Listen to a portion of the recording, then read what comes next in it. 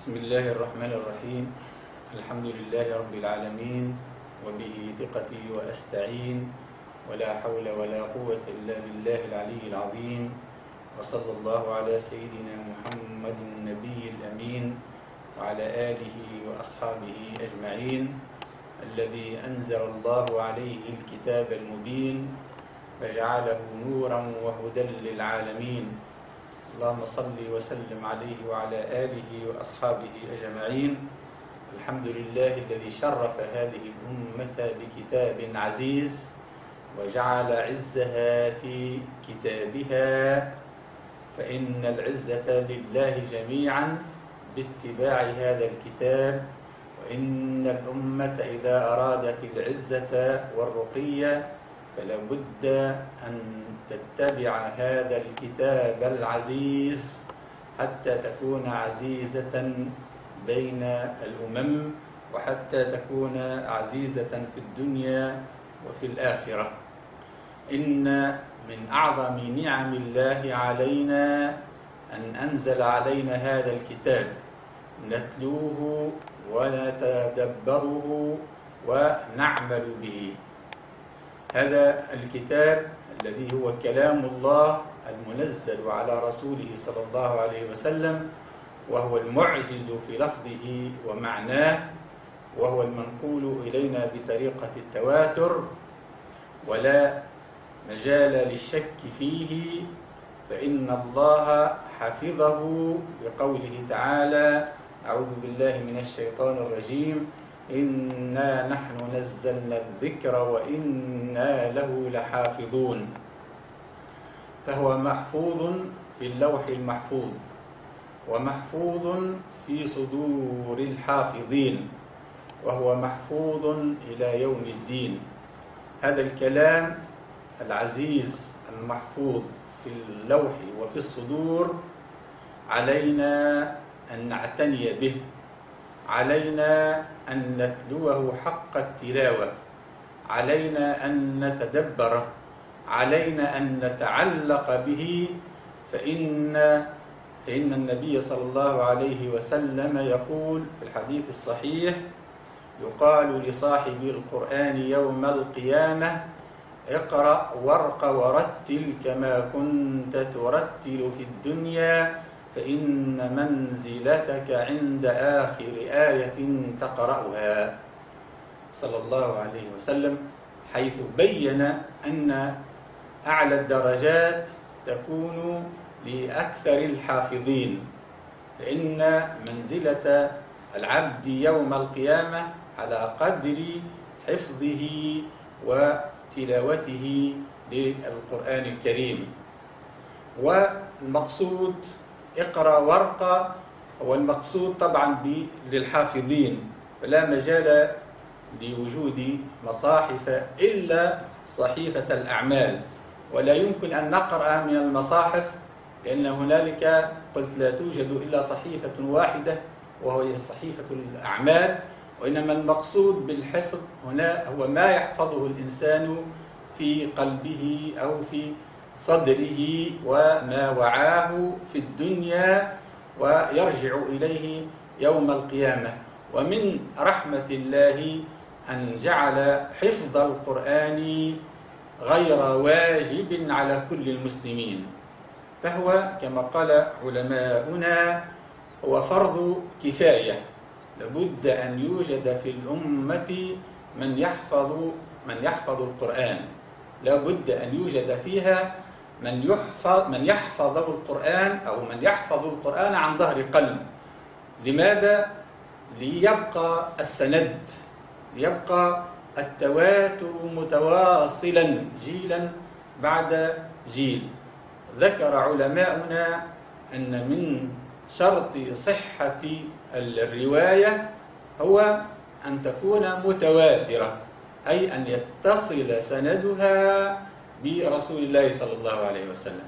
هذا القرآن الذي أنزل كما قال صلى الله عليه وسلم على سبعة أحرف فقرأوا ما تيسر منه.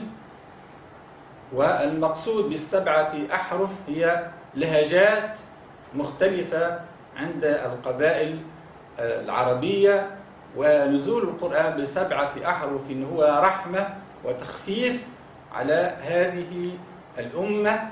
التي اختلفت ألسنتها فبعض العرب ينطقون مثلا بالفتح والبعض الآخر ينطقون بالإمالة والبعض الآخر ينطقون بالإدغام والبعض الآخر بالإظهار.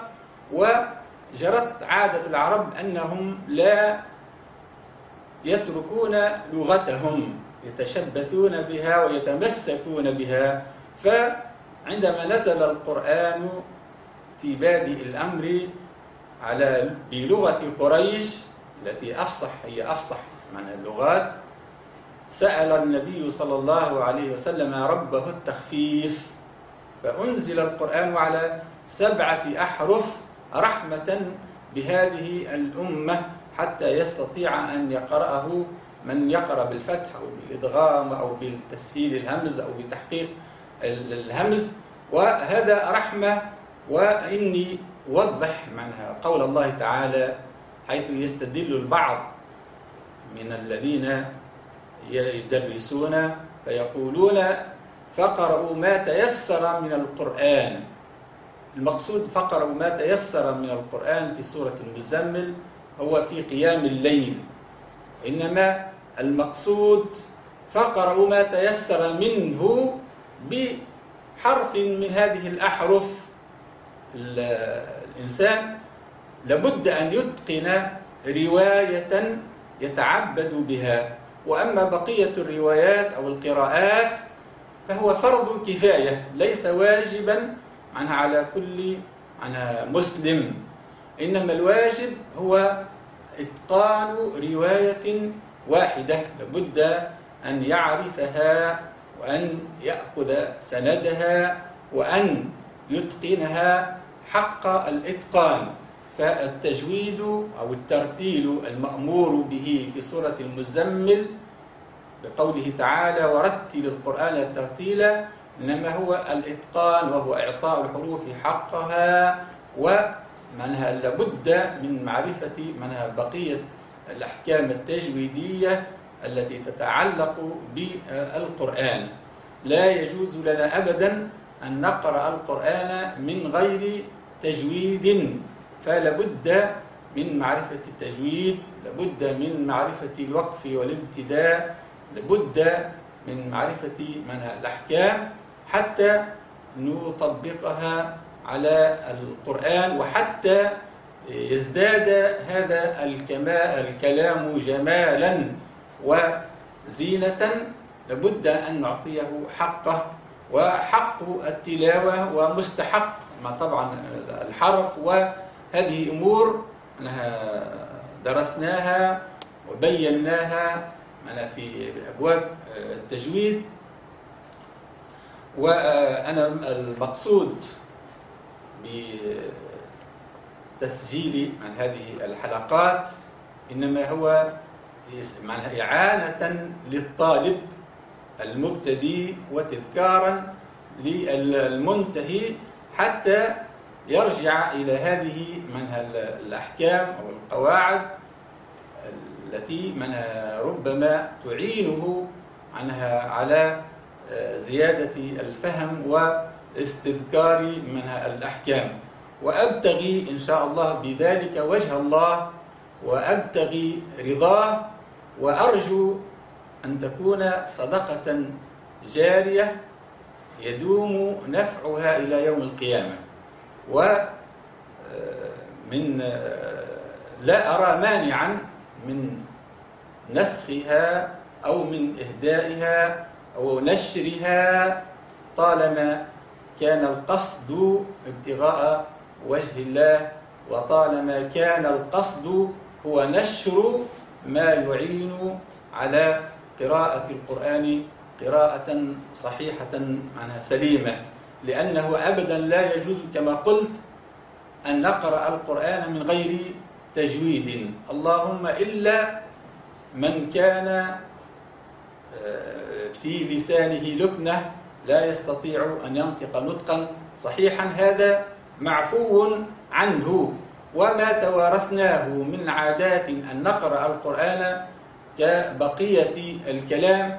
هذا طبعا في وقتنا هذا أرجو أن نجتنب هذا وأن نسعى إلى تحصيل هذا العلم أي علم التجويد الذي قلت هو ضروري للصغير وللكبير وللرجل والمرأة على حد السواء لأن الأحكام التشريعية لا فرق فيها بين الرجل والمرأة إلا ما استثني في بعض الخصوصيات. وعندما نزل القرآن وتلقاه الصحابة ثم التابعون من بعدهم تلقوه بأمانة وبلغوه بأمانة وصدق ومحبة. وأنا أرجو أن أتحدث عن المحبة. محبة القرآن هي التي تجعلك تحفظ القرآن. هي التي تجعلك تنشر القرآن تبلغ القرآن. صدقوني لقد عملت في كثير من المجالات ولم أجد أحلى ولا أغلى من خدمة القرآن. المولى سبحانه وتعالى يذكر في سورة فاطر قوله تعالى ثم أورثنا الكتاب الذين اصطفينا من عبادنا إنه حقيقة اصطفاء واجتباء. من وفقه الله لخدمة القرآن إن فإنه يشعر بسعادة وبعز وبطمأنينة. لا تعادلها طمأنينة أخرى. لماذا؟ لأن هذا الكلام هو كلام الله كلام خالقنا وكلام رازقنا وكلام من صورنا وفي صورنا في أحسن تقويم. هو الذي يعلم سرنا وجهرنا وهو الذي يعلم ما يصلح معناها أمرنا في الدنيا وفي الآخرة. ولهذا طوبى طوبى لمن سعى في خدمة القرآن. طوبى لمن أرشد غيره إلى طريق القرآن. طوبى لمن بذل جزءا من ماله في تعليم القرآن. قلت الصحابة والتابعون خدموا القرآن خدمة صادقة. خدموا القرآن خدمة سليمة صحيحة. وبعد ذلك أتى من بعدهم عصر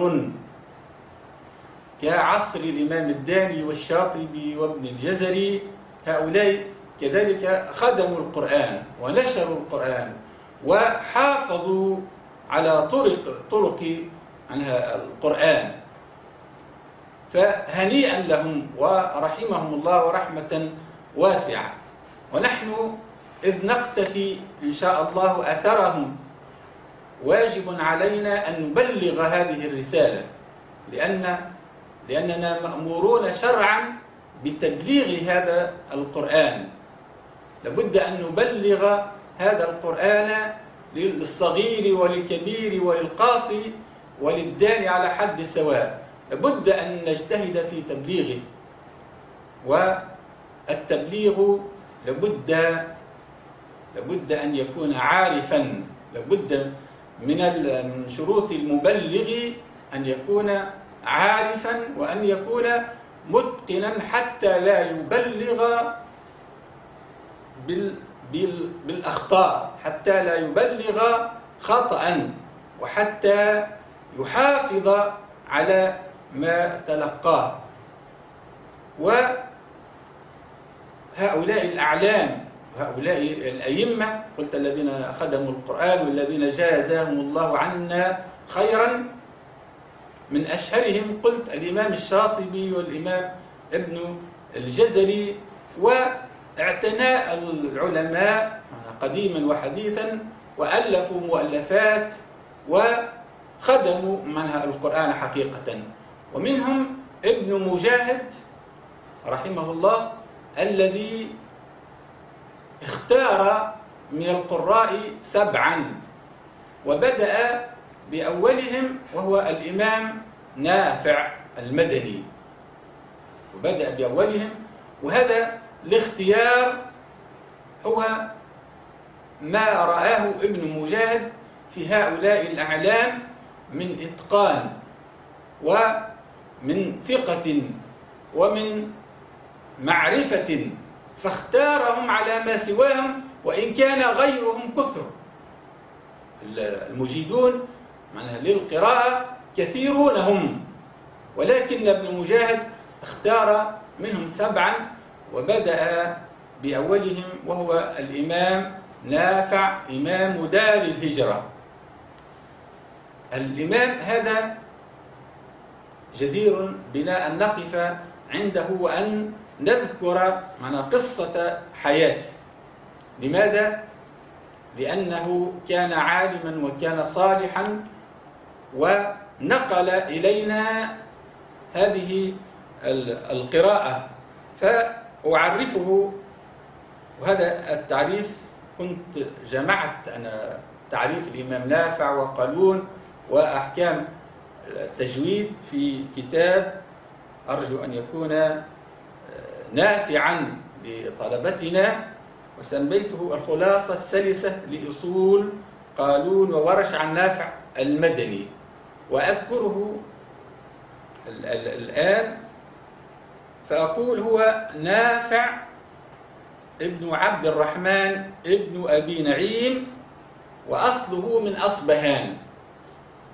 وأنا أقف عند هذا المكان الطاهر الطيب اللي هو في بلاد فارس في إيران.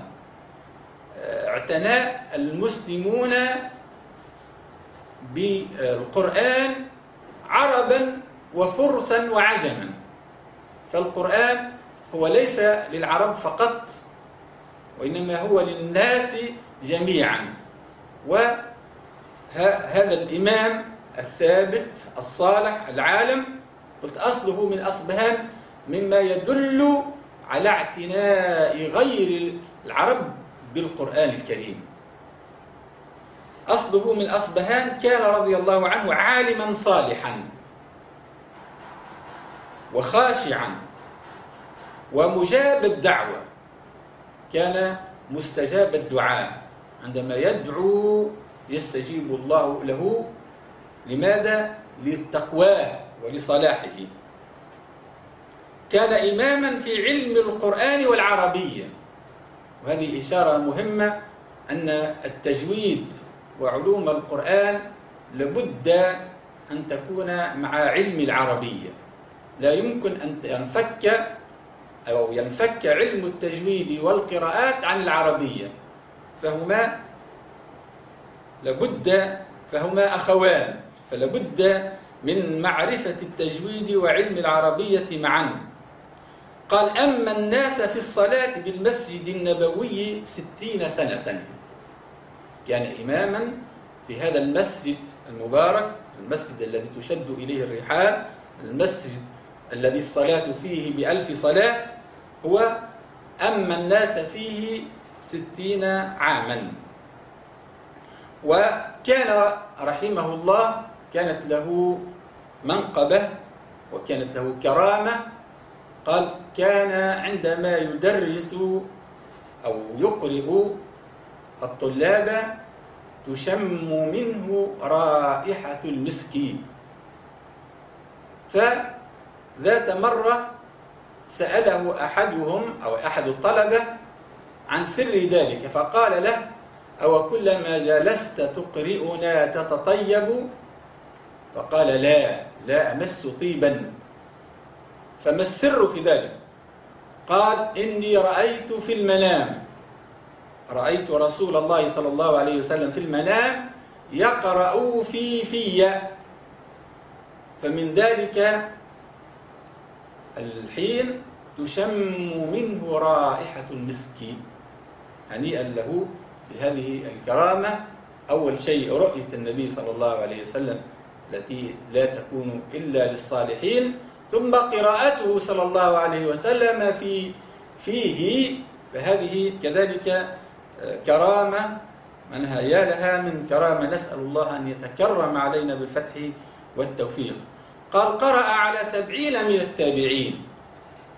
قرأ على سبعين من التابعين. وقرأ على الإمام على الإمام مالك الموطأ. نافع. قرأ على الإمام مالك صاحب المذهب كتابه الموطأ. وقرأ عليه مالك القرآن فكل منهما تلميذ للآخر. وهنا يأمن نستخلص عبرة اللي هي عدم الاستكبار في طلب العلم.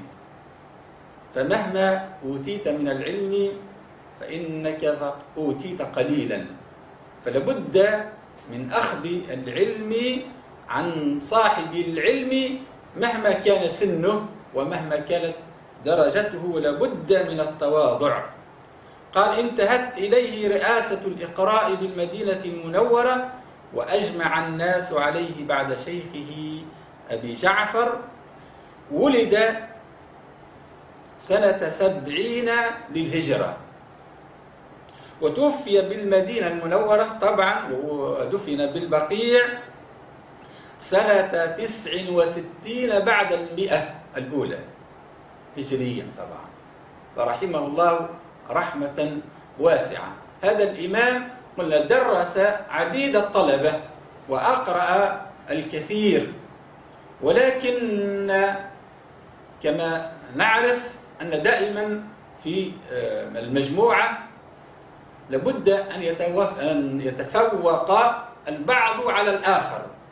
فمن جملة المتفوقين في هذه المجموعة التي يدرسها الإمام نافع برز إمامان جليلان. هما الإمام قالون والإمام ورش. وقلنا المتقنون هم كثر ولكن المتفوقين منهم هما الإمام قالون والإمام ورش. والإمام قالون كذلك لابد أن نعرفه ولابد أن نعرف بعض المصطلحات فما ينسب إلى الإمام؟ قلوا قراءة فقولوا قراءة الإمام نافع. وما ينسب إلى تلميذه؟ قلوا رواية.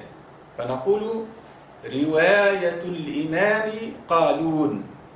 لم عندنا مصطلحات ثلاثة أي القراءة ما ينسب إلى القارئ والرواية ما ينسب إلى الراوي والطريق هو ما ينسب إلى الطريق. ما معنى الطريق؟ قال هو الآخذ عن الراوي وإن سفل. وإن سفل. بعد الراوي كله على يسمى طريق. الآخذ عن الراوي إلى معنى زماننا هذا يسمى معنى طريقا. والإمام قالون عندما نعرفه نقول هو أبو موسى عيسى بن مينا. أبو موسى عيسى بن مينا. إذا الاسم الأصلي هو عيسى بن مينا وأصله من المدينة. لقب بقالون قال لجودة قراءته. لقب بقالون لجودة قراءته. إذا الاسم الأصلي هو عيسى ولقبه قالون. فنحن عندما نقول رواية قالون هو اللقب لأن الاسم الاسم هو عيسى. لقب بقالون لجودة قراءته. قال فإن كلمة قالون بلغة الروم تعني الجيد. الجيد. وقد ذكر الإمام المحقق ابن الجزري في كتابه النشر في القراءات العشر أنه سمع بنفسه الروم ينطقون بها على عادتهم في إبدال القاف كافا. إذا قالون هي ليست عربية إنما أدخلت إلى المعجم العربي. وقالون عندما تعني الشيء الجيد هو لقب للإمام عيسى بن مينا لقبه به شيخه بجودة قراءته. وهذا عبارة عن وسام ذهبي عندما يقول الشيخ لتلميذه أنت لك قراءة جيدة فهذا فخر واعتزاز ووسام من أكبر الأوسمة. يفتخر به طبعا الطالب فأصبح يعرف بقالون. عيسى بن مينا قالون. وكان قالون قارئ المدينة ونحويها. قال وكان أصم لا يسمع البوق. كان أصم لا يسمع البوق فإذا قرئ عليه القرآن سمعه حرفا حرفا. وهذه كذلك كرامة من الكرامات لأن المعجزات هي خاصة بالأنبياء وأما الكرامات فيعطيها المولى سبحانه وتعالى لعباده المؤمنين الصادقين. قرأ على الإمام نافع سنة خمسين بعد المئة الأولى هجريا واختص به كثيرا حتى قيل أنه ربيبه أي ابن عنها زوجه. قرأ عن نافع قراءته غير مرة وكتبها عنه. هنا ثم نقطة كيف كيف نحب نوضحها هو عدم الاستعجال في تحصيل العلم. الإمام قالون قال صبر في طلب العلم وقرأ على شيخه عديد المرات وكتبها القراءة كتبها عنه. حتى قال له ذات مرة كم تقرأ علي اجلس إلى اسطوانة في المسجد حتى أرسل إليك من يقرأ عليك. وهذا إذن طبعا بالتعليم عبارة عن إجازة أي أنك يا قالون أصبحت قادرا على تبليغ هذا العلم فاذهب إلى ذلك المكان إلى الصوانة نقول عرصة حتى أرسل إليك من يقرأ عليك. وهذا طبعا شرف وإذن. و هنا نستخلص من حاجة هي لابد من الإذن. يبلغ هذا العلم لابد أن يأخذه عن شيخ ولابد له من إذن. القرآن وتبليغ هذا العلم لا يمكن أن يؤخذ من الكتب فقط. لابد أن يدرسه عن شيخ عارف متقن حتى يبلغه تبليغا عنها صحيحا. لابد أن نصبر على طلب العلم. لابد أن نأخذ هذا العلم بجدية. لابد أن ننصح فيه. لابد أن نصبر. لابد أن نصبر. وكان مولده رحمه الله سنة عشرين بعد المئة الأولى. وتوفي سنة عشرين بعد المئة الثانية هجريا رحمه الله ورحمة واسعة. إذا عاش معنا قرنا من الزمن وهذا طول العمر في عبادة المولى سبحانه وتعالى هو فضل من الله. لأن من يعيش كثيرا ويعمل صالحا يكون له في ميزان حسناته وأما من يعيش كثيرا ولا يعمل الصالحات فإنه وبال عليه ولا حول ولا قوة إلا بالله. سند رواية الإمام قالون لأن الصحابة عندما تلقوا هذا القرآن من هذا القرآن من فم رسول الله صلى الله عليه وسلم كان يقرئ البعض منهم بما لا يقرئه للبعض الآخر. فانتشر الصحابة وبلغوا وخرجوا لتبليغ هذا الدين وكل من رسول الله صلى الله عليه وسلم. الصحابة بلغوا هذا القرآن للتابعين. والتابعون بلغوا هذا القرآن لتابع التابعين ولمن, ولمن بعدهم. ولكن هذا الخلافات أو هذه الأوجه في القراءات هي كلها من رسول الله صلى الله عليه وسلم. كل أقرأ به رسول الله صلى الله عليه وسلم. كما حادثة وقعت في عهد النبي صلى الله عليه وسلم اللي هي سيدنا عمر بن الخطاب الشديد في الحق سمع هشام بن حكيم يقرأ في صلاته بشيء من القرآن لم يعهده سيدنا عمر اللي هو سهر النبي صلى الله عليه وسلم ومقرب منه لم يسمع.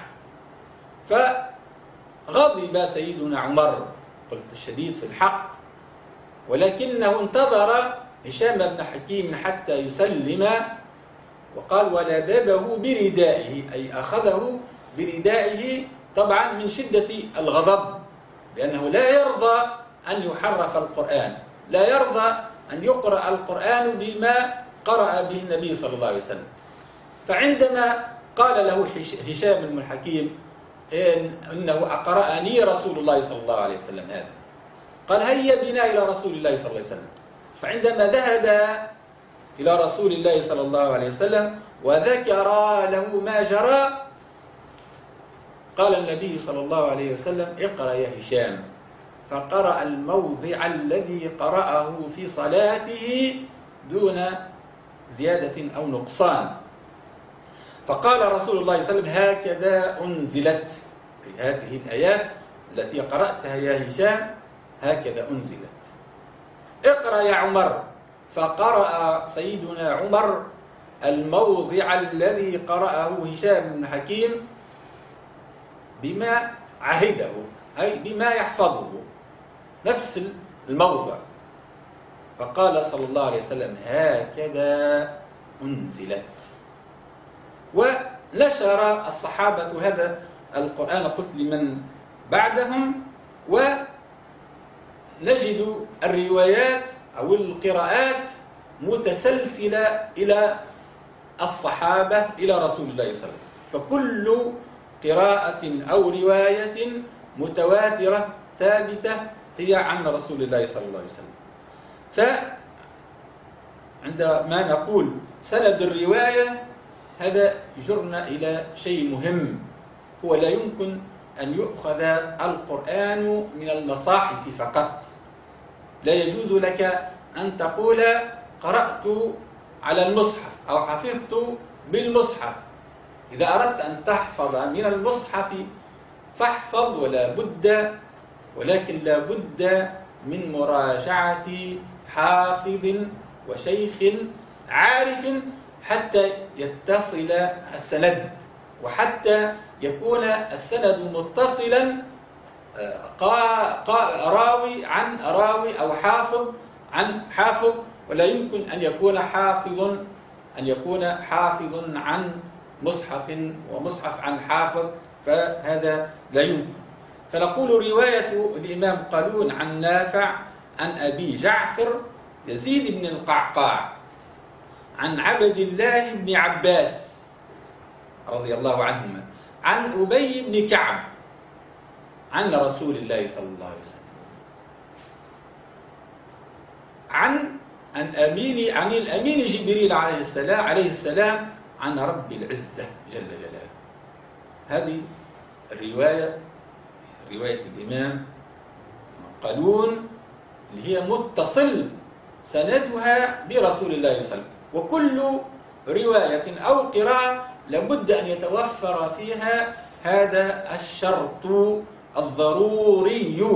لابد أن يكون السند متصلا برسول الله صلى الله عليه وسلم. فهذا ما أنصح به أن يكون الحافظ لكتاب الله آخذا عن شيخ عارف وأن يقرأ, وأن يقرأ عليه وأن يكون الشيخ مرشدا ومعينا له على الحفظ ومبينا له الأخطاء التي ربما يقع فيها حتى نساهم في إتقان كتاب الله وحتى نكون من الذين قال الله فيهم الذين آتيناهم الكتاب يتلونه حق تلاوته أولئك يؤمنون به.